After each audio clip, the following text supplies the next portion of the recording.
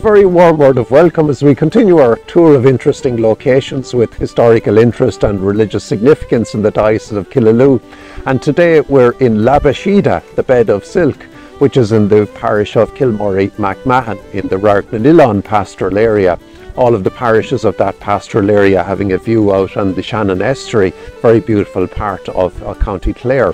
The village itself, well worth a visit a very beautiful village and right down beside it you have the quay right down by the sea and here where just behind me is St Kieran's Community Centre which was the old church and across the road from that you have the modern day uh, Catholic Church. Well worth a visit to see the stained glass windows either side and the image of St Kieran uh, painted on the back of the church.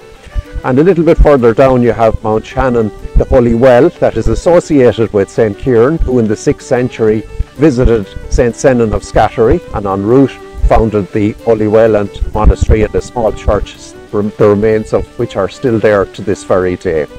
In this beautiful location it's well worth a visit and we pray on this day St Kieran pray for us, St Senan of Scattery pray for us, St Flannan of Killaloe pray for us all.